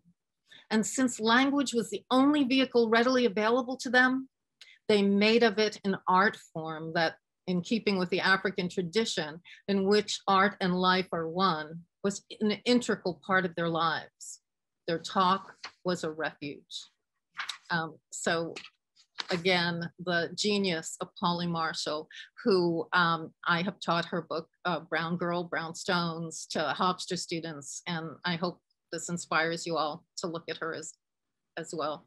Um, the next very brief reading is from um, Black gay poet Essex Hemphill, who died all too young of AIDS. And this is from one of my favorite of his poems. You may recognize um, this from the documentary Tongues Untied, where he has a key role. This poem is called Black Beans. Times are lean, pretty baby. The beans are burnt to the bottom of the battered pot. Let's make fierce love on the overstuffed hand-me-down sofa. We can burn it up too. Our hungers will evaporate like money. I spill your lust, not the pot burnt black with tonight's meager meal. So we can't buy flowers for our table. Our kisses are petals. Our tongues caress the bloom. Who dares to tell us we are poor and so powerless? we keep treasure any king would count as dear. Come on, pretty baby, our souls can't be crushed like cats crossing the street too soon. Let the beans burn all night long. Our chipped water glasses are filled with wine from our loving, and the burnt black beans are caviar. So um, this particular poem I, I um, is being honored by um, the amazing painter um, Lubaina Himid, who um, the painter from Zanzibar, whose work features some text, including the words of Audre Lorde and Essex Hemphill, and will be a one-woman show at Tate Modern. And I've been very honored to um, write a contribution to that work. Um, the next uh, person I, I want to share with you is a contemporary spoken word artist. And my students love that we explore slam poetry and spoken word. Again, these are, uh, you know, I'm, I'm featuring the words uh, people of color. And this is Melissa Banales, who is a current Latinx um, spoken word slam poet. And given the focus on STEM and STEAM, I thought I would share her um, spoken word piece, Do the Math do the math. The equation goes something like this. One white mother plus one brown father divided by two different worlds equals a daughter. Give or take a decimal, the American dream turns out to be two half white children, two full brown children, one small house in LA, four jobs divided by two high school educated parents. The quality of life is high, but the means is low. The numbers vary from memory to memory, like three. Three times a week, I clean houses in rich neighborhoods to make my way. Folding sheets is difficult.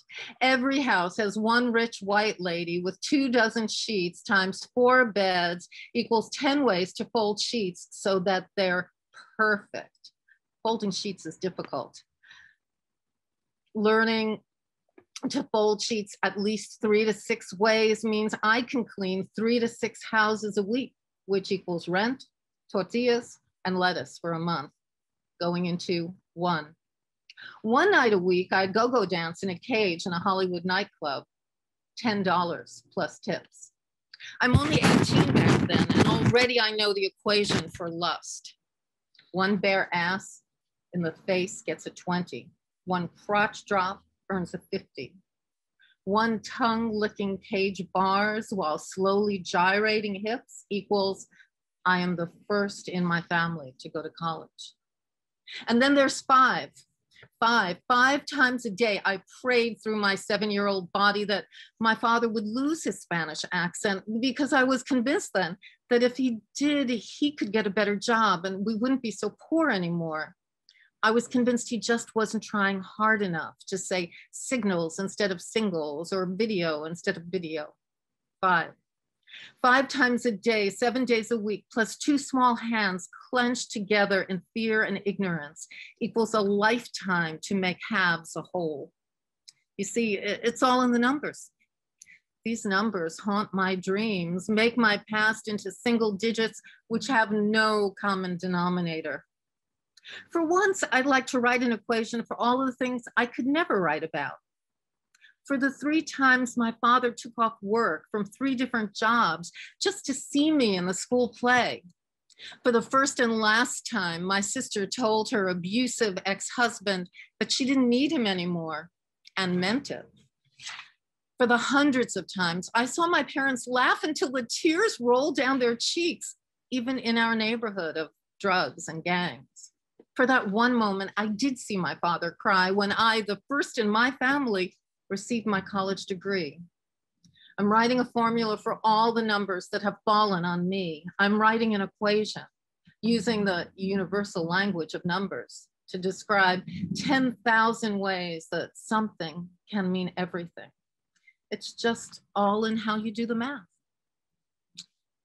And I would like to um, end this exploration into the writers of color who explore and celebrate working lives with a very brief, this is a three minute clip um, from the playwright who has so inspired me, Lynn Nottage, um, Pulitzer Prize winner for um, both Ruined and the play Sweat, which as you'll hear from her rather than me telling you about it, um, is based on her interviews of workers in Reading, Pennsylvania. And here they've gone back to Reading to the people they interviewed.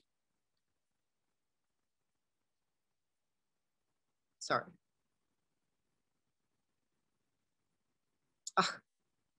Sorry, guys. in 2011, I read an article in the New York Times which was discussing the fact that Reading, Pennsylvania was the poorest city of its size in all of America. And so we set our sights on trying to get to know the city from top to bottom. We interviewed everyone from the mayor, the police chief, educators, business people, homeless people. They felt that in one fell swoop, they went from being people who were solidly middle class to becoming part of the invisible class people always answered the question, How would you describe your city? with the answer, Reading was. They always spoke of their city in past tense. How did a city, which had once been such an incredible industrial powerhouse, become a city without a narrative?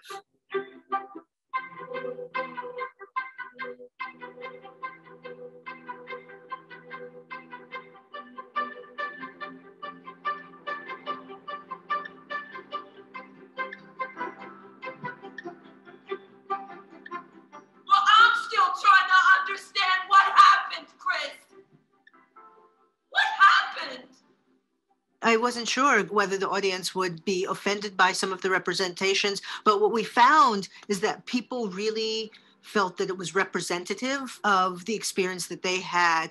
We've been having the same conversation for 20 years. Butts is a bitch. Olstead sucks, but it's work. So let's stop complaining and have some fun was really important to us to be in dialogue with the folks who were really at the center of the creation of this piece. A lot of us get to a certain point in our lives, and sometimes we don't always have a lot to show for that. Because all we have to give is that particular thing that is our eight, ten hours, whatever, a labor at something that puts food on our table, gives us a sense of identity. And I just wanted to thank you for acknowledging the importance of everybody getting up and going about their day and doing something meaningful. You keeping yourself busy? Trying. Walking the line in the morning, working the phones in the afternoon. Nothing yet. Unions offering money for folks to go back to school.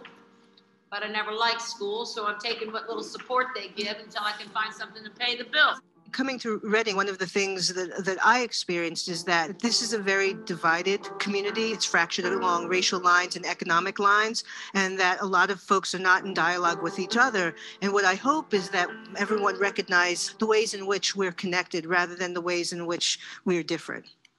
People come in here every day.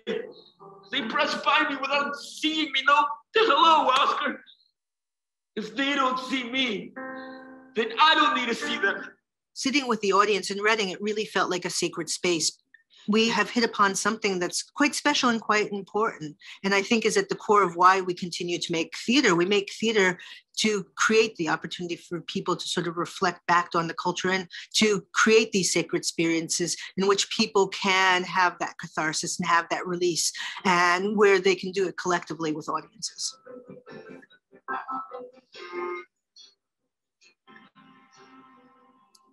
Thank you. Um, so in conclusion, I just want to share with you all at this wonderful seminar the my feelings about the power of art to tell stories of working class lives, particularly through live performance. When there is a live audience, whether it is an audience of students in the classroom or a larger audience who can hear and collectively together experience the stories that are being embodied before them.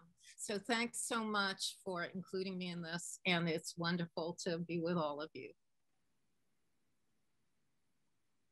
Thank you so much, Lisa. Thank you to all of the speakers. Um, we have 10 or 11 minutes.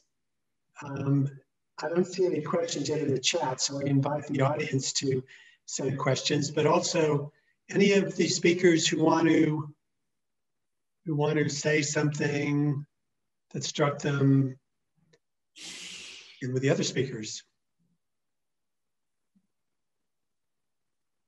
Kathy, did you have your hand up? Did, were you going to ask a question or comment?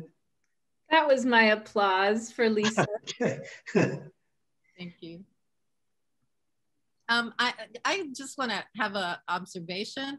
Um, for George and for Neil, um, and all of you. I didn't know Russ well. I just knew him more casually in the department. I'm so sorry that I didn't get the chance to know him better, but I was so struck um, by um, both the issues of his work and and Neil, when you were talking about Kafka, my working class, you know, um, transit worker dad was a sort of autodidact, and he used to say everything was a Kafkaesque nightmare. And when I finally got to college, I thought, oh, that means you read Kafka. So I, in hearing about um, Russ and um, and Silvia's mention of the the novel, the somewhat autobiographical novel, made me think back not only of what I've missed about Russ, but actually what I miss about my dad and the way that working class lives, you know, have made us all who we are. Um, so I just wanted to to shout out to that and to and to thank you all.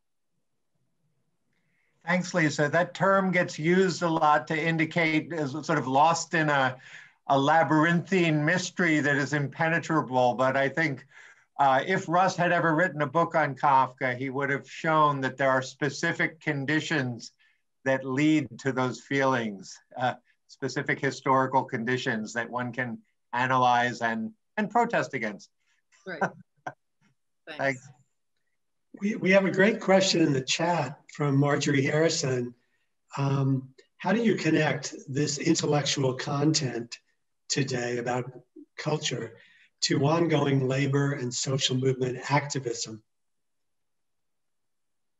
Anybody want to comment on that?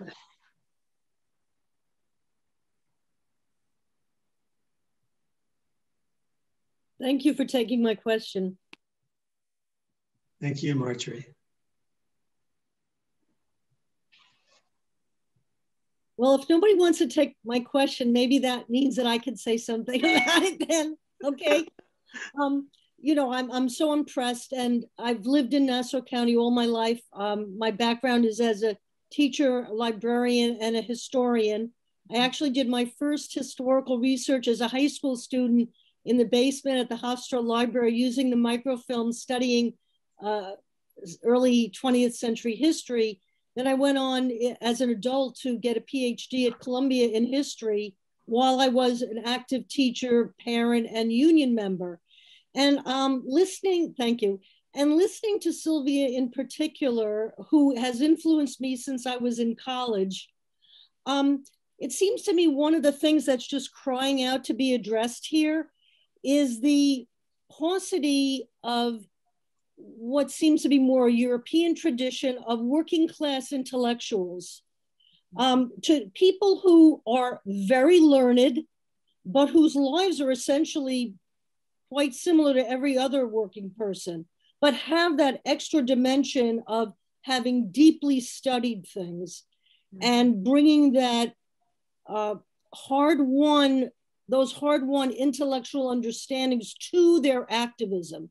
And I can say that for myself, this has been extremely helpful. And I was just wondering if anybody could comment on both the role of the university and the role of academics in social movements in trying to bring those deeper uh, historical understandings into strategy and tactics. For example, how do we keep the question of class and union organizing center stage at this time of tremendous social movements?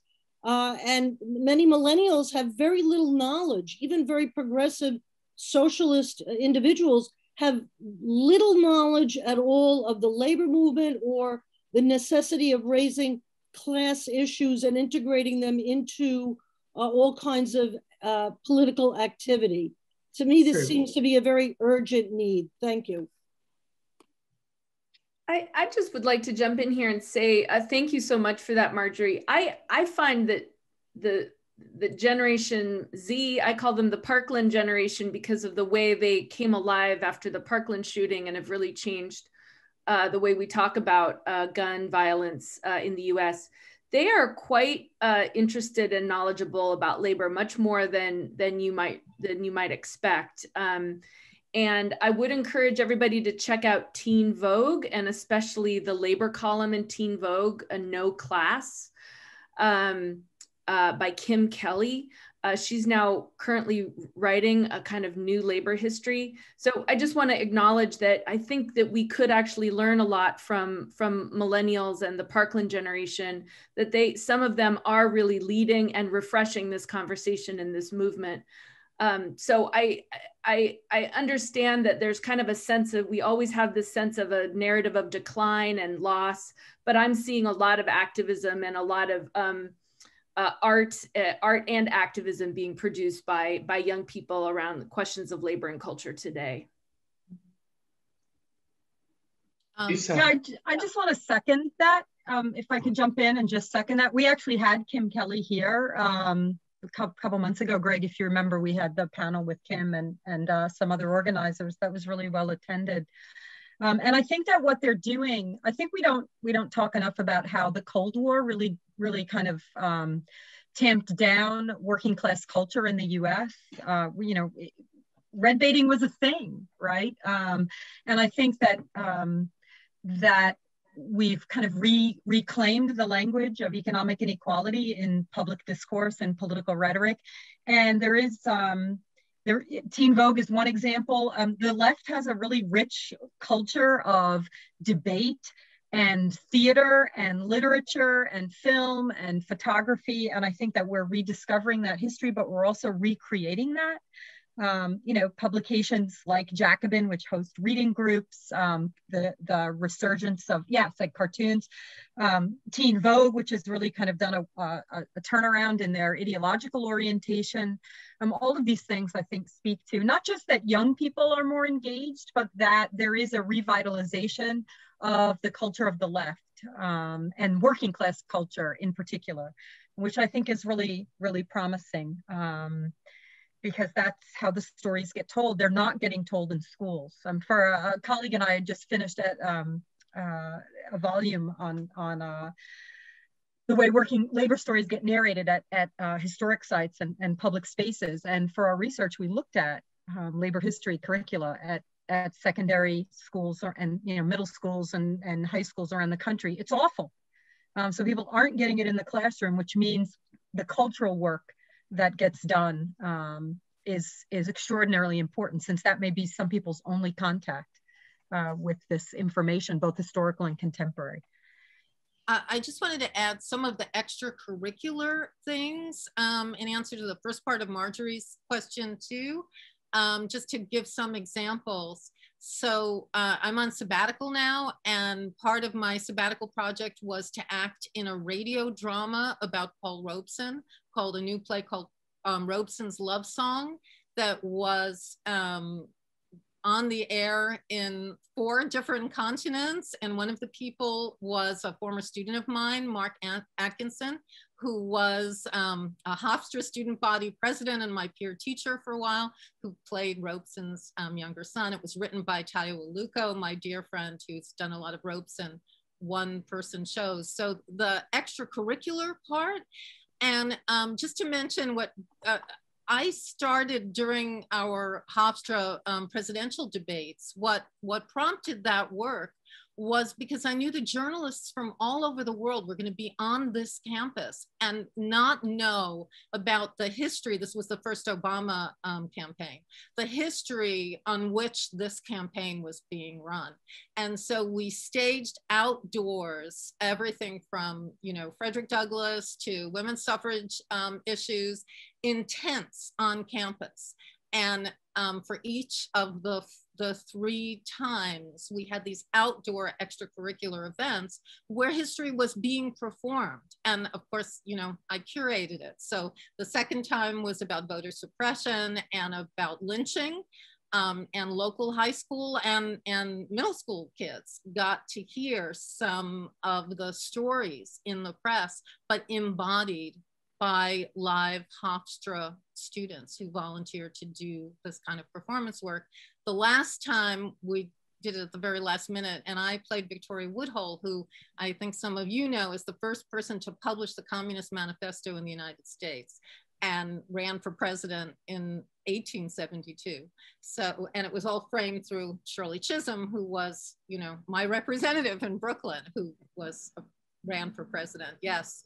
So those voices, I think, as Mary Anne was saying, the um, the staging, the artistry. I'm doing more and more work about visual art and the ways in which people um, globally have been addressing issues of class and race and gender intersectionally. Um, and, and I think that if the university is a place, it's not just a place where things happen in the classroom right? It's a space where outside of the class, all kinds of exciting things can happen. So I love the image of you in the basement of the library, Marjorie. I've used those, uh, those machines.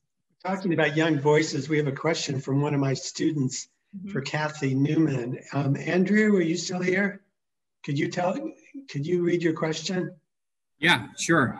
Um, yeah, hi, uh, Kathy or uh, Professor Newman. I was just curious um, about some of the different sources and research process that you used um, to sort of write your books, especially the radio um, book. I'm just really curious about that academic process because um, I took Mass One, Media History and Development. I found it really interesting, and I was curious if you could comment on the theories associated with it. Uh, thank you so much, Andrew. I really appreciate that. I'll just put my um, these are the questions that I sort of ask in both both books and think, thinking through the labor theory of culture. And so um, I use a lot of biography. And so I've used a lot of archives of personal papers for like how culture is made and who made it. Um, I've used a lot of labor archives. There's a chapter in Radioactive where um, I talk about a boycott that RCA workers organized of their own product because RCA, uh, the Philco Radio, uh, was sponsoring a conservative uh, anti-union commentator on the radio, and so they organized a boycott of their own radios to protest uh, that uh, that commentator. And those labor archives were here in Pittsburgh. Um, so these are the questions that I asked, how it's made, who makes it, what are the conditions. And so it's really just a, the questions lead me to the archive and the archives are all over the country and of all different sorts. Great, I think we'll have to, to end it there. I wanna thank our audience very much and our speakers, uh, you're fabulous. Um, this will be going up on the Hofstra YouTube channel, so look for that in the future, tell your friends who weren't able to uh, be with us live today.